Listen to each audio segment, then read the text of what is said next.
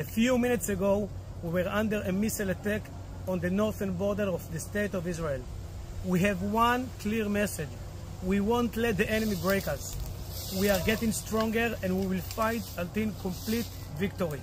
Here, under those avocado trees, we want to wish you all Am Israel, here in Israel, our families in Israel, all over the world, across the sea, Shabbat Shalom, Chodesh Tov, and Am Israel Chai.